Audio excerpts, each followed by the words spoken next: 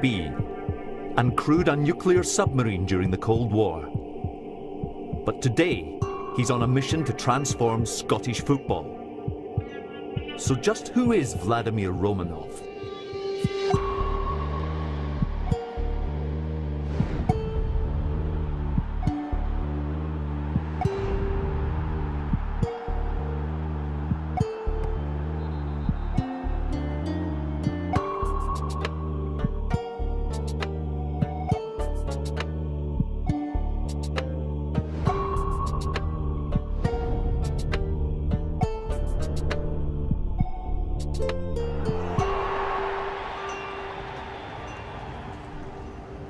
Vladimir Romanov makes an emergency visit to Edinburgh.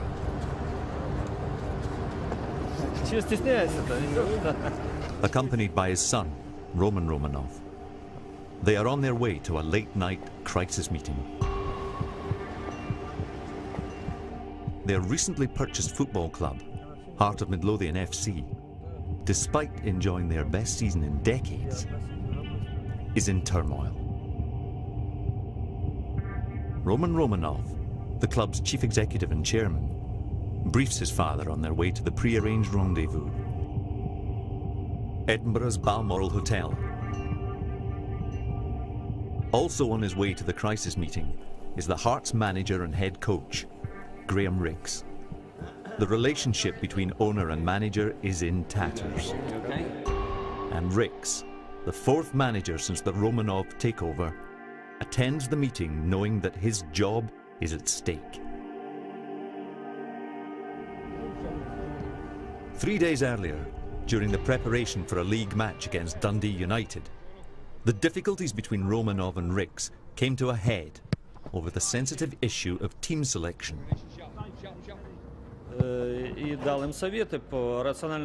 I gave them some advice on how to utilize the players more rationally, because otherwise we wouldn't last the long season. Romanov believes Rix's team selection is based on short-term glory, rather than the long-term aim of qualification for the European Champions League. But if all you're doing is pursuing your own goals, to make your name known, to show off that you can win the cup, write your name in history, it's better that you leave right now.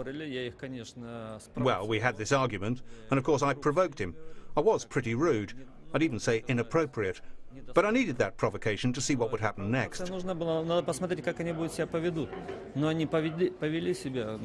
What happened was even worse than anybody could expect.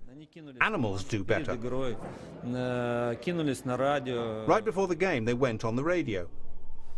I just told him if you lose the match tonight, forget about the position of the head coach.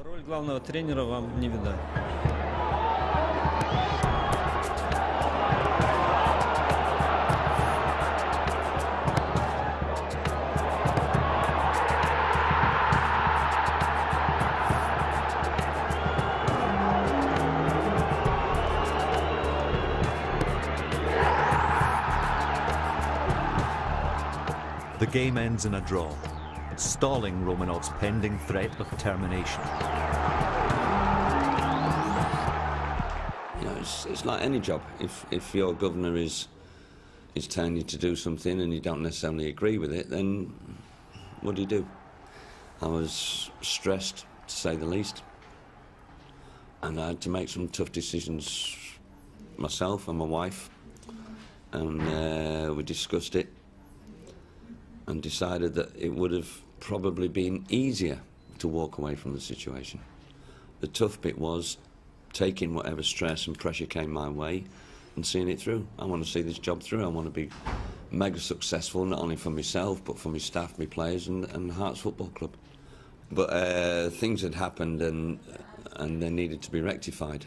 And, and it was going to be a tense meeting, there's no doubt about that. Uh, and thankfully they have been rectified. I mean, it seems, you know, from, from our, can I just ask you, it seems from our perspective here that, you know, after everything that we, you know, we've been reading in the papers, that you obviously get on very well with Vladimir and, and Yeah, sometimes. no, I do. They've been uh, they've been fantastic to me. Uh, gave me a great opportunity, and I'm, and I'm delighted to be part of it. Long may it last. Yeah. They've got big plans, and I want to be part of it. All right. So I mean, Tuesday night just a hiccup in the way, is it? Yeah, I've forgotten about that already. I can't wait for tomorrow. Bye, Roman. Bye, Top man. See you soon. Speak to you. But the situation has only been rectified temporarily.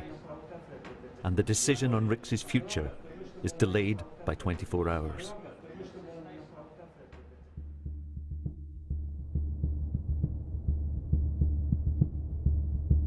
The following day, Hearts are at home to Aberdeen in the Scottish Premier League.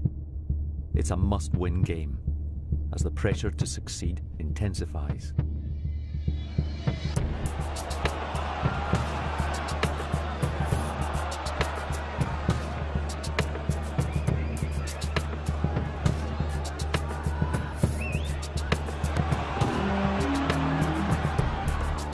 Adding to the crisis, the Romanovs have been contacted directly by the players, who have requested their own emergency meeting immediately after today's game.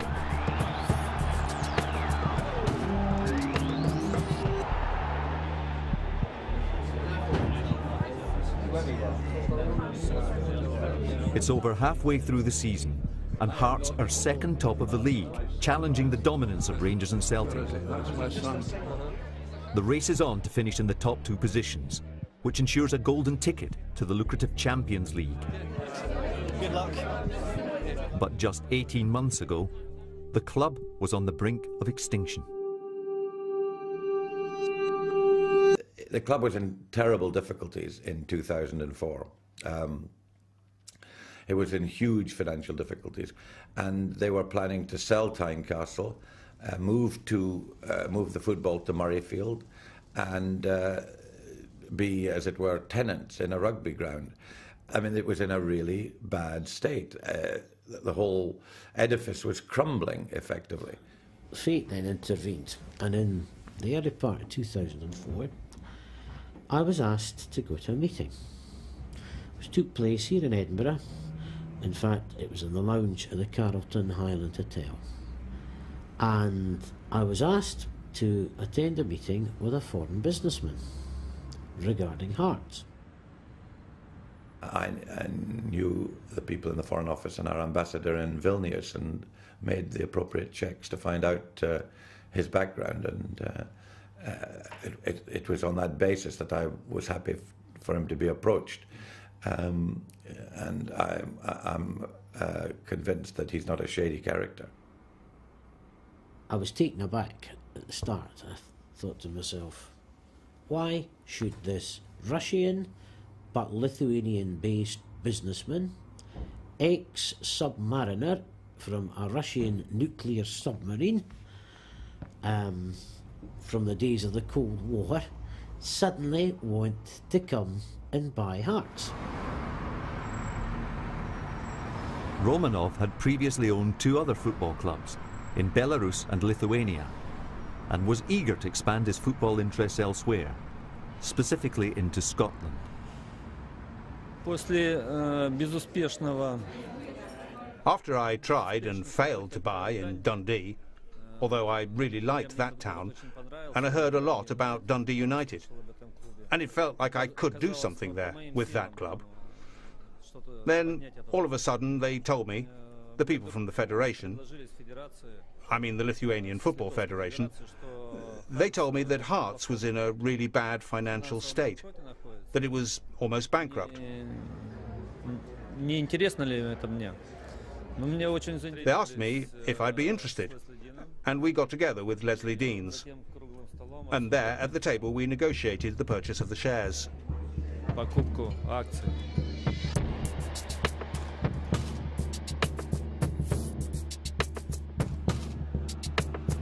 The second half against Aberdeen resumes, the pressure on Rix increases to breaking point.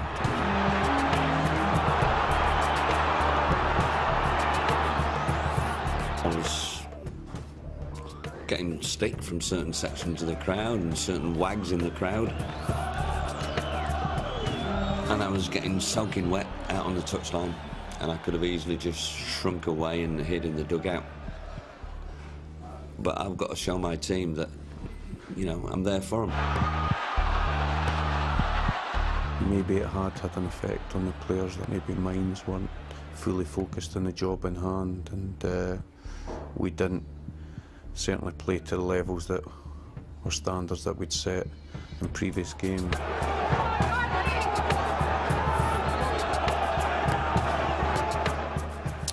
It was a poor performance, really. Uh, and, and certainly as regards the media, I didn't use it as an excuse, but I think what had happened the previous 10 days or so had, had got to the players. I think they've had a, a lot to contend with already this season. And I mean, publicly, I, I never said anything. I just said we played badly and had people off the pace. But if you look a little bit deeper, I think it's understandable.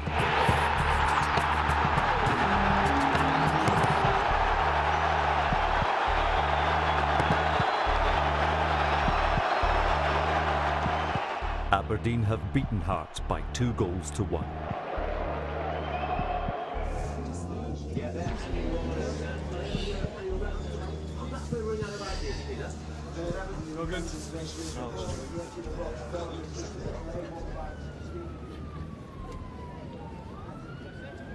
Just hours after the game, the verdict on Graham Rix's future is still in the balance.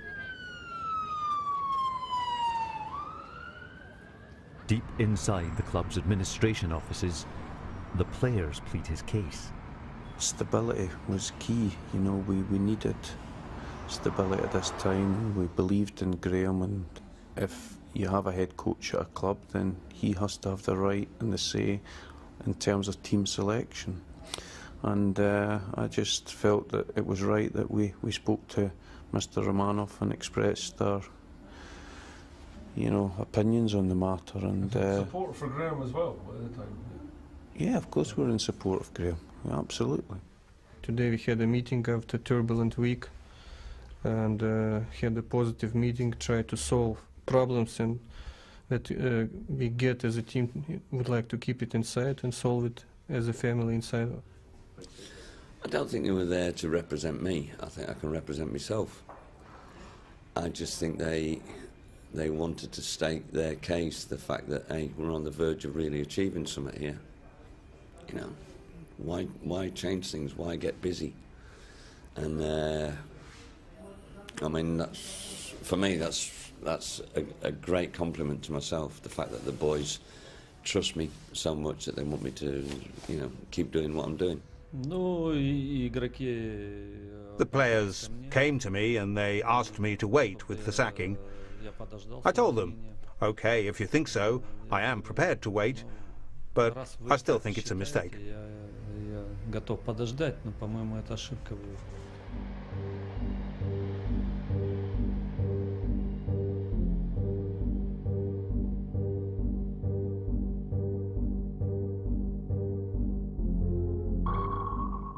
Kaunas, the old capital of the former Soviet state of Lithuania, and home to 58 year old Vladimir Romanov and his family.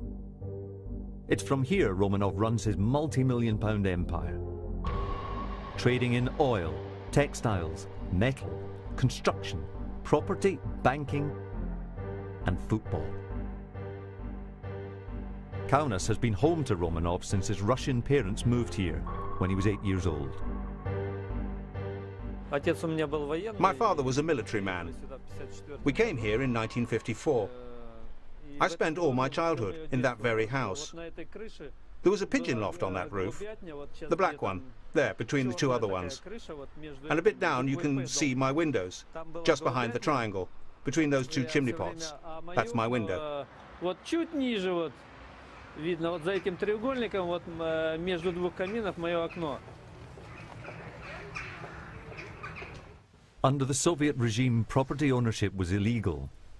People lived in collective housing, and many families, regardless of size, crammed into one room. It seemed to be so big then. It was huge. I even used to ride my bicycle here.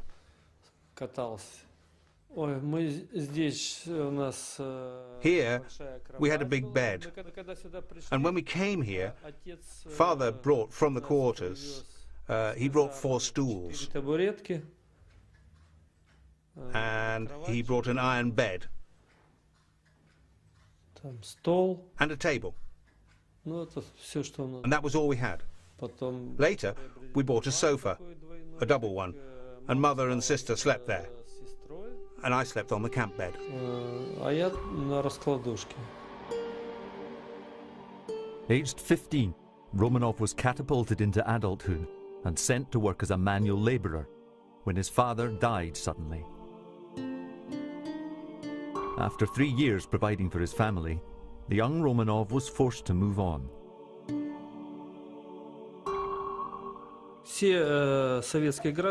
All Soviet citizens, all young men at the age of 18, were drafted into the army or the navy or other military services. I went to the navy, to the submarine detachment in Kronstadt. All my values changed. I started to appreciate my home and my family. I realized I might lose them all one day. And I remember the mandatory training. Every six months or once a year, we had training with torpedo barrels. You get in, they put you in a torpedo barrel, open the hatch, water comes in and it floods. They put three people in at a time. Three people to one torpedo tube. I was the last to get in. I got in, it gets filled with water. If you knock three times, they'll open the hatch and let the water go down and take you out. But while you're waiting, you can't be sure whether you'll be alive or not. I had water right up to my lips. So I turned to get air and I swallowed water. I started to cough and almost choked but I refused to knock three times. I still sometimes have that feeling. I see it in dreams as if I'm in a coffin and being drowned in water. I think it was after that accident that I started to really appreciate what life on a submarine means, that it doesn't allow for mucking about.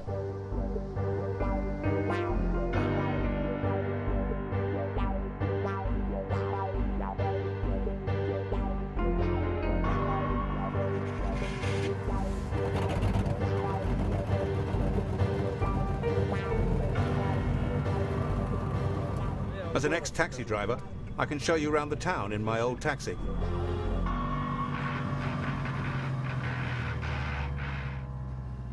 After three years as a submariner, Romanov joined the Soviet fishing fleet. He brought back artifacts and textiles from all over the world and resold them for a profit back home.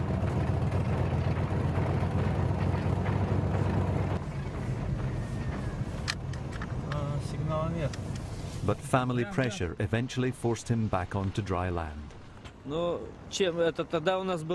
that time, people who worked in consumer services, like waiters and taxi drivers, were a sort of elite when it came to earnings.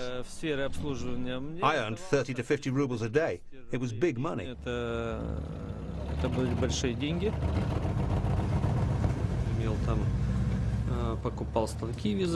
When I worked as a taxi driver, I used the money from that to buy knitting machines, and so my output grew. В 70-х Finally, in the 70s, in the late 70s, early 80s, I became quite a big businessman. больших предпринимателей был.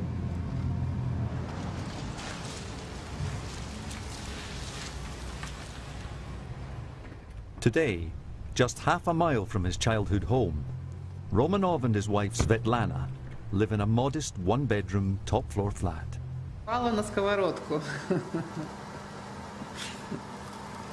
И вот такой, потому что он солнечный. Если его зажарить, вот тут он зажаристый очень, он напоминает, если он, он круглый. They've been married for 33 years, and during their early business ventures, Svetlana, aware their money-making schemes were illegal under Soviet law, was in a constant state of anxiety.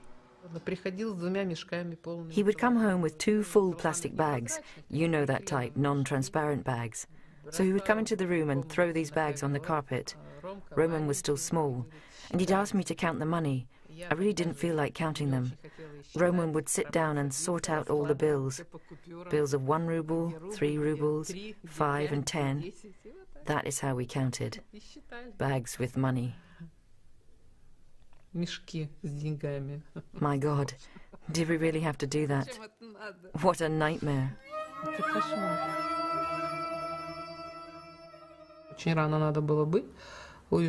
Some nights, and I'm sitting at home not knowing whether he will return at all. You don't know what to wait for. Mobile phones didn't exist, and there was no way to get in touch with him. So you just had to sit and wait. You sit and wait until night. I thought they could have arrested him. I was very worried. I was very nervous.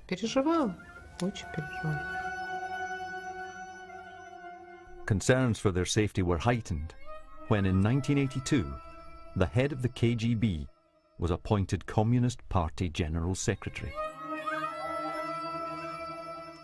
Then Yuri Andropov came to power and he decided to destroy all the businessmen like me.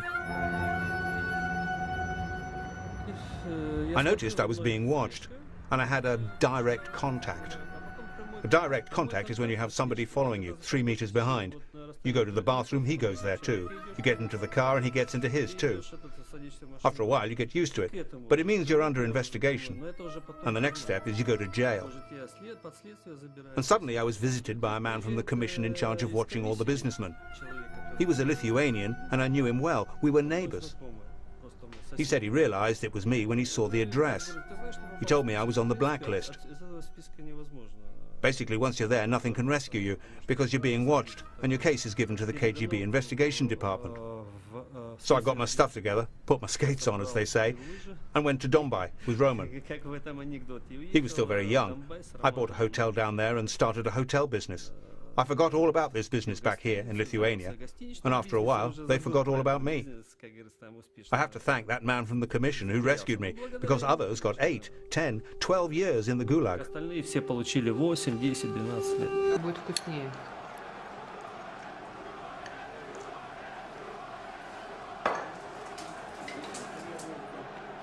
He is, I believe, in the nicest sense, a football nut.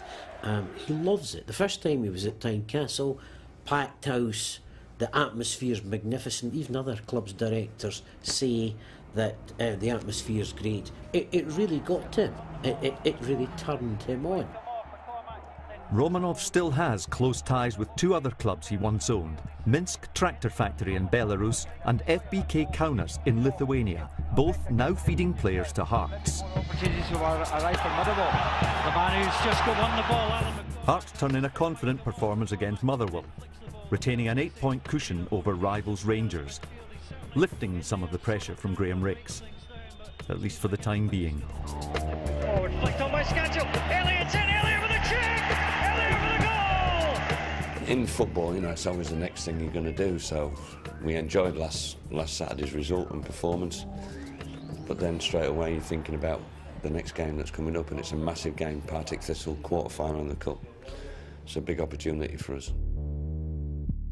Since the Romanovs arrived, the post of manager at Hearts has been the most talked about and precarious in British club football. And Graham Rix is the fourth incumbent in less than 18 months. Craig Levein resigned just days after Romanov's arrival. John Robertson lasted six months and resigned rather than accept demotion to assistant coach. And George Burley sacked a third of the way through the season after guiding Hearts to the top of the league. Burley's departure is still the subject of speculation and legal scrutiny. But former chairman George Foulkes believes the disintegration of Romanov and Burley's relationship began months earlier. I think probably the genesis of the concern that Romanov had, it was the one-all draw with Celtic at Parkhead we were uh, apparently set for a win and it ended up as a draw. And Romanov was convinced somehow that could be contrived and uh, and he was suspicious about that. And I think that was the way in which his suspicion started.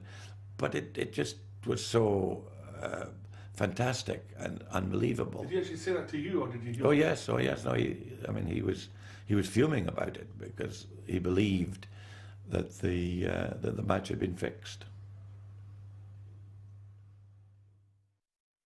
Although Romanov refuses to be drawn on details surrounding match fixing allegations, he does believe that corruption is present in the Scottish game, particularly in relation to football agents representing players and managers.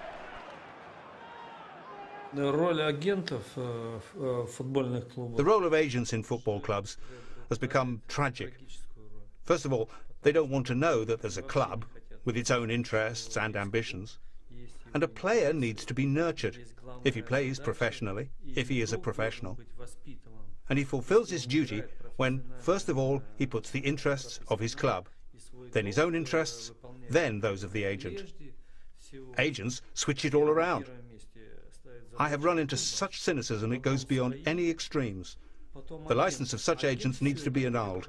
It needs to be done immediately. We need to fight against such agents.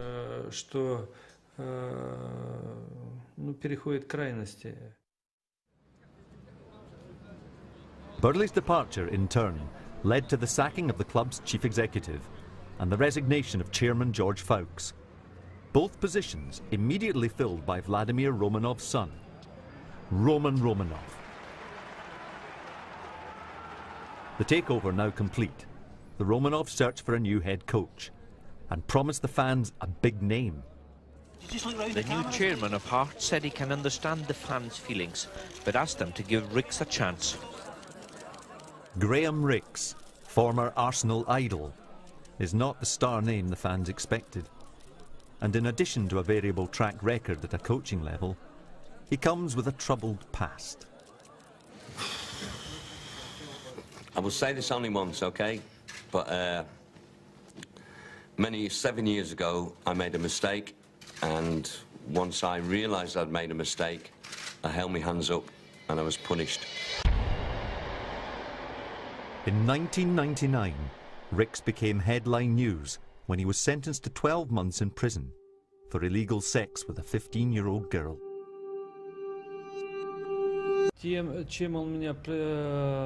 What attracted me to him was his desire to work hard. I also liked his previous experience, the work he'd done before. But he was a man who'd been pushed into a corner.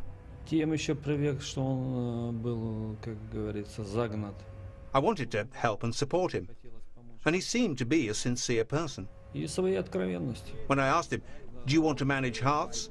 His reaction was, are you serious? Are you kidding me? I said, no, no, no kidding, try it. Я говорю, нет, не шути, попробуй. Я бы опять бы брал какую-то звезду.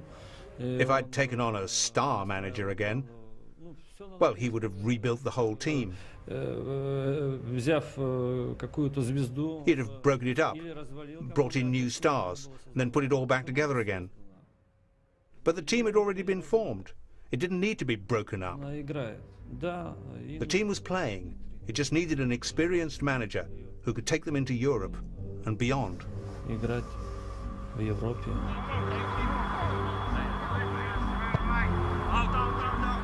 When I first came up, as I'm sure you'll appreciate, there was a lot of adverse publicity towards me and my appointment, and he really stuck up for me, and I admired him for that. Did you ever think that you were given the job so that he could have some leverage over your decisions? He owns a club. So if he tells the physio to do something, the physio's going to do it. If he tells the head coach to do something, he's going to do it. If he tells uh, the guy in the club shop to do something, he's going to do it because he is the governor. Uh, like I said earlier, you might not always agree with what he says, but the bottom line is he's the boss.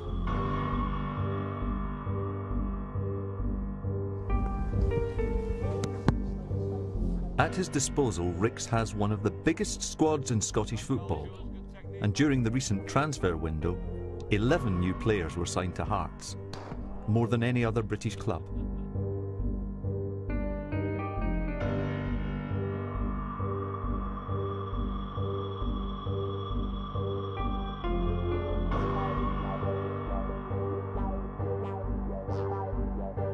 At his HQ offices in Kaunas, Romanov, still not satisfied with these recent additions, continues combing the planet for more football talent. These are the archives of the players that I can go through myself. I don't have all the folders here, but we can take any country. Let's take Scotland. All the Scottish players are here. How many have we got? 700. 700 soccer players. All the players we've got here, we've got their own characteristics, which tells us about the player's potential, their physical qualities, how strong they are. So, when some player arrives from any country, we compare the data. I pay people for making independent evaluations of every player in every country. The players are individually assessed and graded, 1 to 3, by Romanov himself, and then logged and filed by his translator and personal football assistant, Artyom Chetverikov. How many Brazilians do we have altogether? Well, there are eight folders there. If there's about 700 in each one, makes about 5,000 players altogether. So we've got 5,000 Brazilians.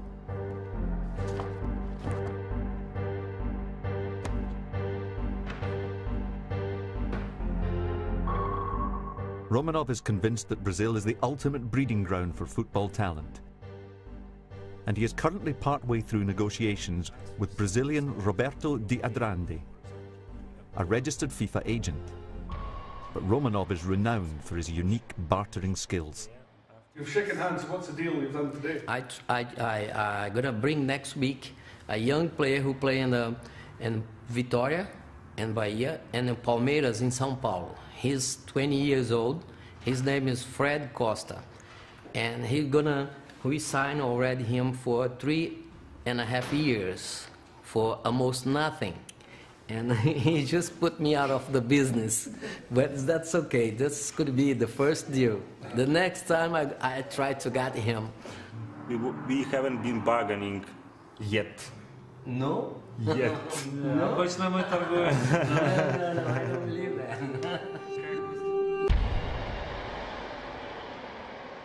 For De Andrade, the meeting is a success, and he arranges another sales pitch later in the week to discuss three upmarket players. One with a price tag of 7 million Brazilian dollars, equivalent to 2 million pounds.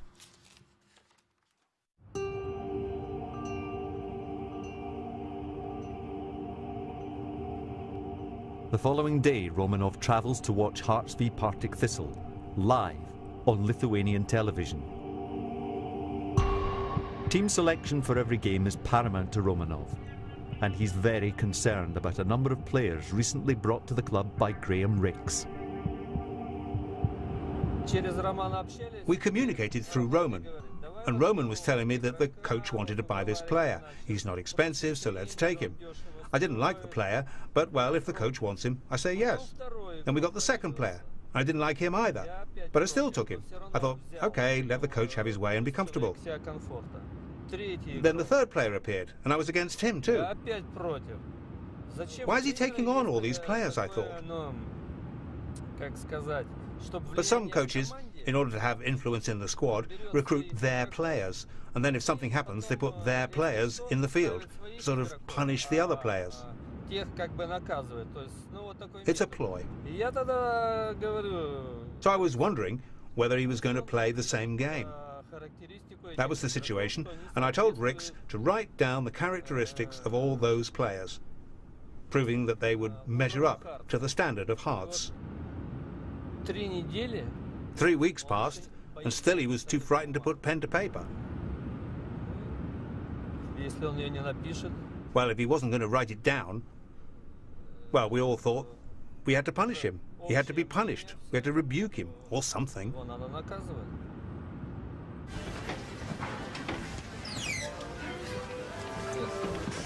Romanov has paid a Lithuanian TV company £3,000 to transmit the match live. So he and Sandro Gershevich, his friend and football advisor, can scrutinise the game. Although Romanov's target is to finish in the top two positions in the league, his secondary aim is to win the Scottish Cup. At the quarter-final stage, Hearts have drawn lowly Partick Thistle. A knockout game that Hearts should win easily.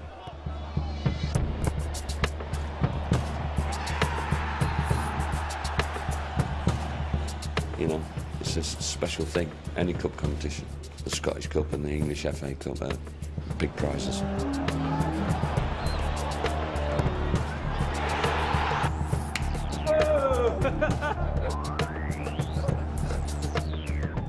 midway through the second half, and with victory in sight, the tactics start to go wrong.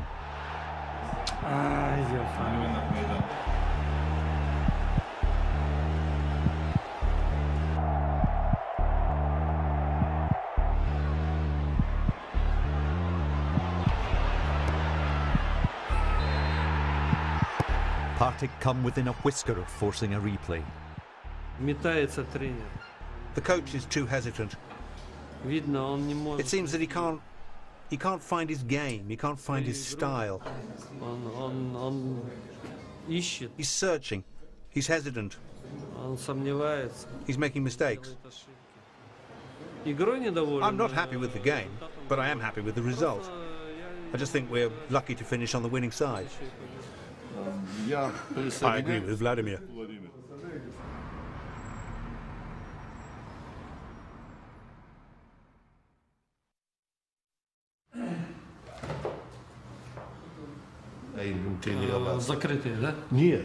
uh. It's back to the negotiating table in the search for new players. And waiting in the outer office is Roberto de Andrade.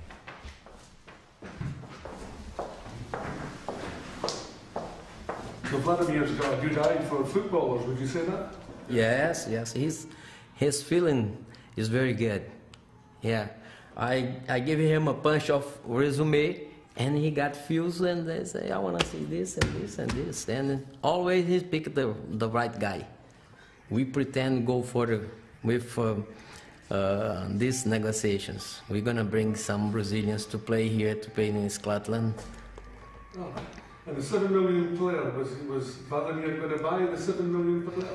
Uh, we just discussed this now. But this time round, Roberto is going to find things a little tricky. We're gonna show a part of different games. Roberto's strategy is to hike the price of the player worth 7 million to 10 million. Since uh, soon Carlinho Bala go to the south, Rio or São Paulo, his value will go up to more than 10 million, easily. No, I have no question about it. But there is great confusion as to which players Roberto is actually trying to sell. Rosembrick lost that. What, what is his number, Rosembricks? I can't see 10. his number. 10. 10. Rosembrick is a 10. Which player? This is Rosembrick. Ah, Okay? which number? As the atmosphere heats up, Romanov's strategy is to attend to more serious business matters in the outer office.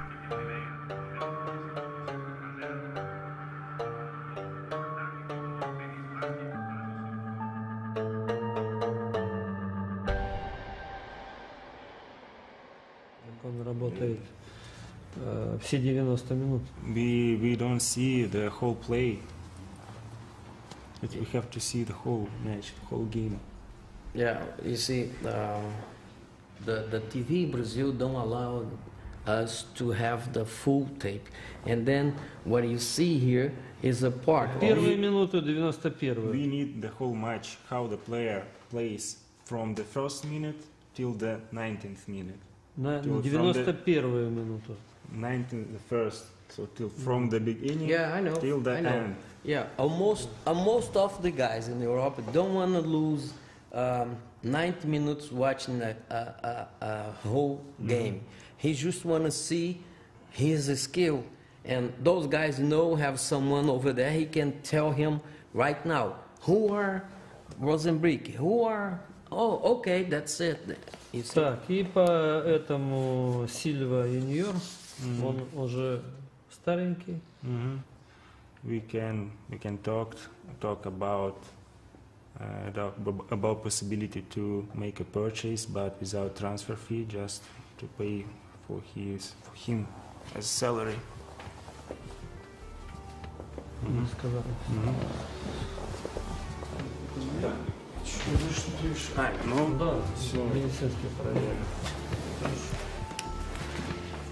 The meeting ends abruptly, without agreement, and without any of the usual formalities.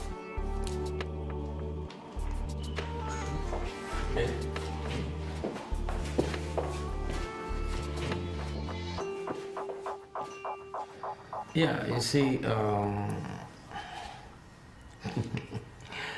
uh, uh, it's it's uh, it's quite uh, strange uh, when some guy supposed to know football um, talking about the quality DVD quality. The quality of his DVD was terrible. No, he didn't have the proper CVs, of these players, and it's quite hard to make some de decisions then you have such kind of stuff. Uh, that is why, that is why I think, I think he was so upset. You're not happy. You're not, I mean, I can see you're not happy. Yeah, I, I really am not because um, I come here to show a footballer, not a DVD quality. I'm not uh, like you. My business is another business. I know it's difficult for me talking, if you don't mind.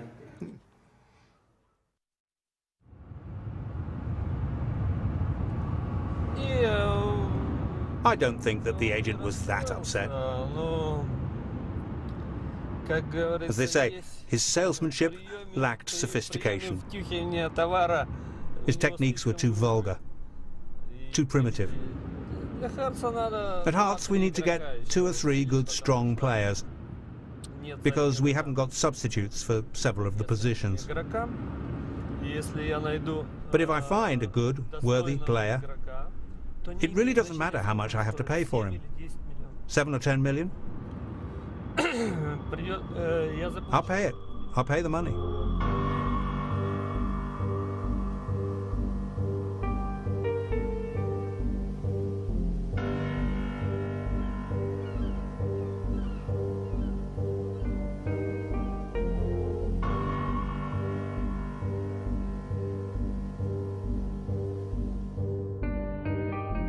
Two hours' drive from Kaunas is the Curonian Spit on the Baltic coastline, and a holiday development part owned by Romanov, and adding to his fortune of almost one billion pounds. A fortune that began to amass when the political climate in Russia abruptly and unexpectedly changed. вот этого времени, которое э, после советского времени. So, after that time, after the cruel Soviet period, э, Горбачевская Then came Gorbachev, the Gorbachev era, perestroika and glasnost. And Ryzhkov, his prime minister, brought in a law on cooperative enterprises in the Soviet Union. I quickly realized that for me, for people like me, it meant that now I had a legal right to supply factories and my other plants with materials. During the economic transition, the government privatised state assets by printing millions of share certificates and then distributing them amongst the workforce. These shares, worthless on their own, but valuable in large numbers, gave businessmen like Romanov a golden opportunity. When we had the privatization bill, I bought shares or vouchers in factories. And I ended up owning those factories. And those factories turned out to be the owners of the UKIO bank shares. And I checked my shares again and again, and I saw that I had almost enough to own the bank. So I, I got myself into 10 years of hard work on all the results of my business and my trade businesses, and all of it I put into the bank. Tens of millions. And all the banks in Lithuania, they all went bankrupt. Not one stayed afloat. In fact, the only bank that survived was my bank, and I'm rather proud of that. As for the football, the director of one of the enterprises we bought said that the bank had just bought this huge factory, so why didn't we also buy the factory football club? I said, okay, let's buy it. And that's how my 15 years in football started. Then I started to ask, well, why is our budget three times bigger than the champions and we're not the champions? We're in fifth place. I started to get into the details. Romanov transformed his local club, FBK Kaunas, from losers to winners, securing six of their last 12 league championships. And through FBK Kaunas, Romanov was introduced to Scottish football. I got to know about Rangers with the UEFA Cup against Kaunas, and then Celtic, and then the Scottish national team came here. Then I looked at a lot of different clubs and I realized that in principle my knowledge and experience was enough to buy a club and to make them champions. But the championship's not the main thing. Just through the league, through the Scottish League, I wanted to get into Europe and then do something meaningful there.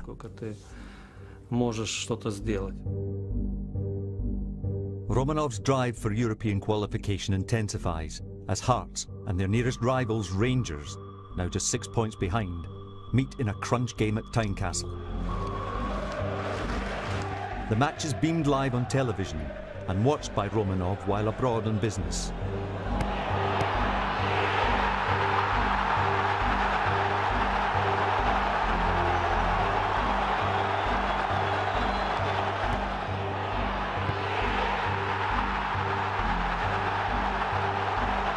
The match ends in a draw.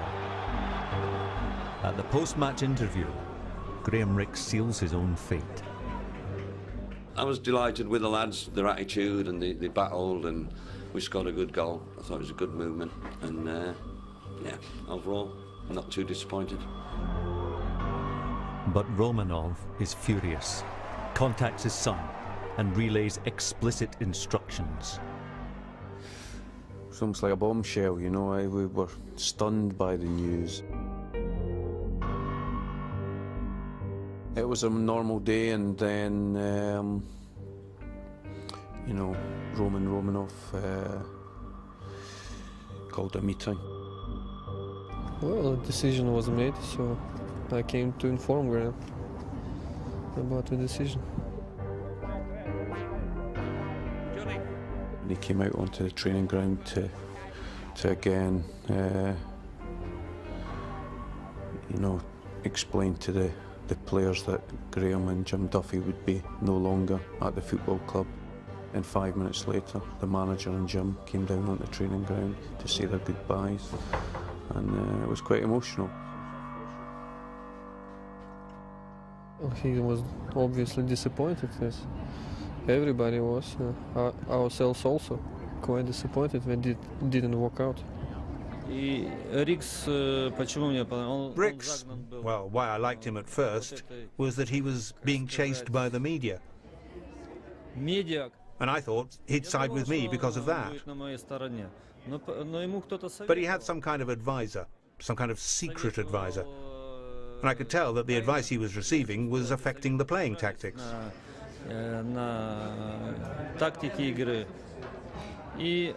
Then Roman told me that the coach wanted an assistant and it was hard for him to work with Valdas, the Lithuanian assistant at Hearts. And I told Roman, well, let this secret advisor come out into the open and take the responsibility for it instead of sitting like a rat in a hole.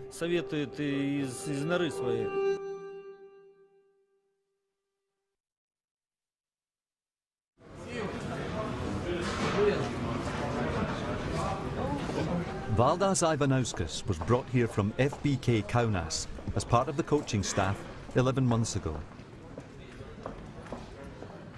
But today, he's catapulted into the spotlight, becoming Hearts manager number five in just 18 months. Finally, Valdas, you've been a, a, top player in Germany, Austria, Russia as well. You've played for some very demanding coaches. Is Mr. Romanov the most demanding person you have ever worked for?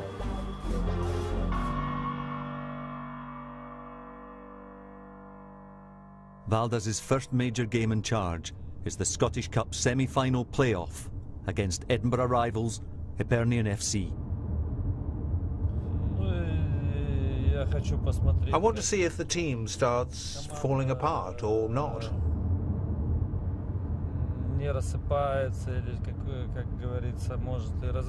I want to see how my changing the manager affects them. Often you get a period after such a change when everything seems to be falling apart. I want to have a look. I want to see them play. I want to see if the guys have still got that spirit, that combat spirit, and how they look on the pitch. The semi-final takes place at the National Showpiece Stadium, Hampden Park, which means a migration of an estimated 40,000 supporters from east to west.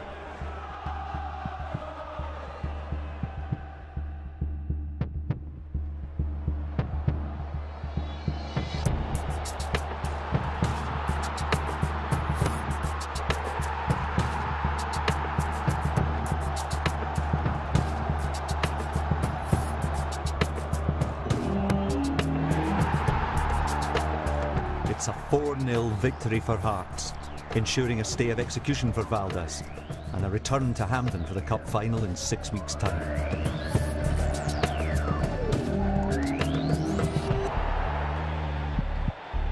For Romanov, success on the pitch is matched by a striking vision for the whole Heart of Midlothian enterprise. This is just one plan, which would allow for 25 to 28,000. We could rebuild this whole side, but even that wouldn't be enough today. So we're also planning to build a hotel right here. And the area between the stadium and the hotel, there'll be a glass dome there. And we're planning to put a conference hall there, that kind of thing.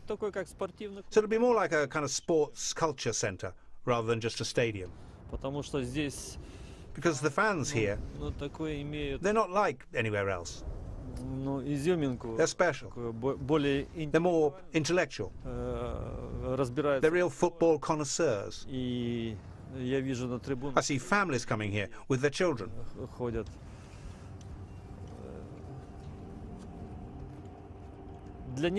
We need to build it for them. Something suitable for their needs.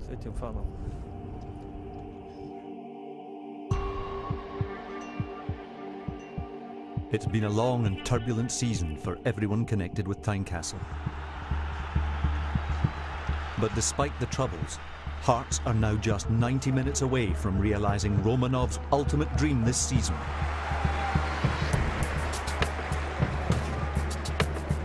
Qualification to the European Champions League. But first, they have to win.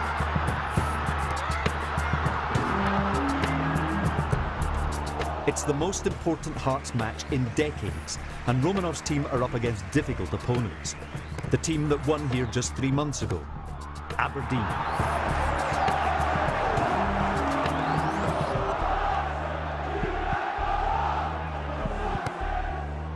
After 76 minutes, it's still stalemate. But Hearts are awarded a penalty.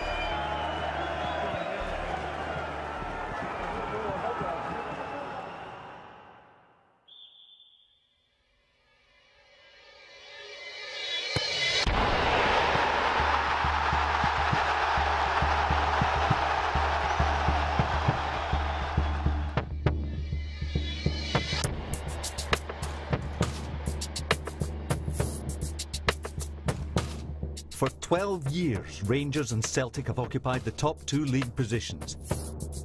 But tonight, the old firm monopoly is about to be smashed.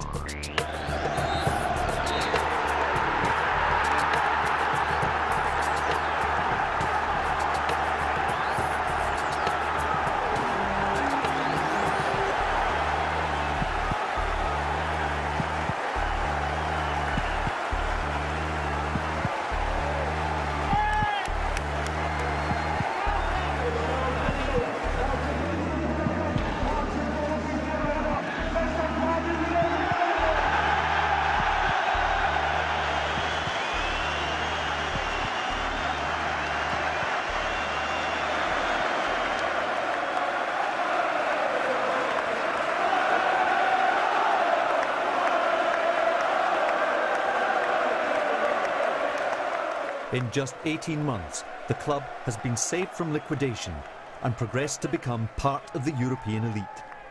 One of the most remarkable transformations ever witnessed in British football.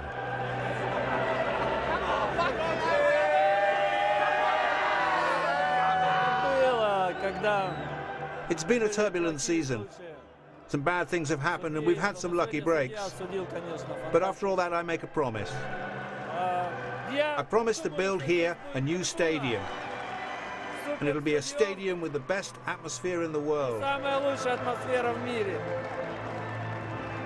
I really believe in this, and I have no doubts about it. And as for the future, well, the dream for me will be to bring the cup back to Edinburgh.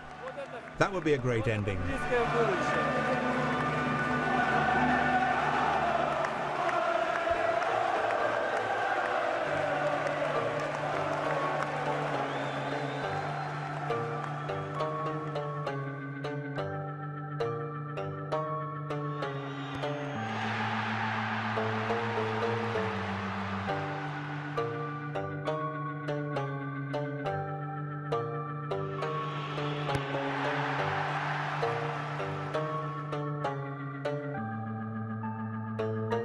Just 10 days later, Romanov's dream is realised when Hearts win the Tennent's Scottish Cup.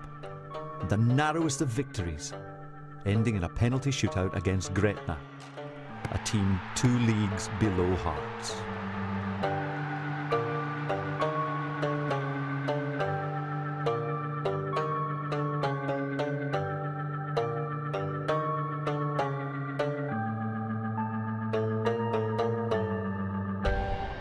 Soon, they'll have to face the greatest football teams that Europe has to offer.